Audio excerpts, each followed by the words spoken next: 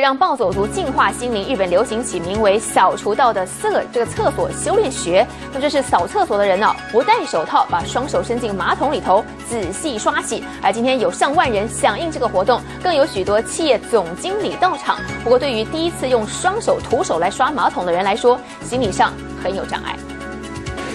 拿着菜瓜布、海绵，弯腰蹲在马桶小便斗前拼命刷洗，这是从日本传来台湾，被称为“扫除道”的扫厕所修炼学。但实际做起来可没有一般人想象简单。后备齐牙刷、菜瓜布、棕刷、毛巾等四十种必需工具，再到每个马桶前闻气味。并且用手实际伸进下水道，还有马桶缝隙，检查污垢的附着情形。哦，平常觉得说哇，好像很脏的感觉，克服心理的障碍还是哦需要去自己调整一下。真的很有障碍，因为得把手伸进马桶里，用金属刷、菜瓜布清洁，同时用海绵吸起污垢。但不止一般人，就连企业总经理徐崇仁，还有环保署署长沈世宏，也埋头拼命刷厕所。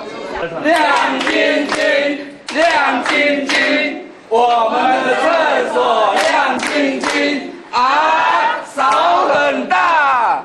日本人はうんと真面目なんです。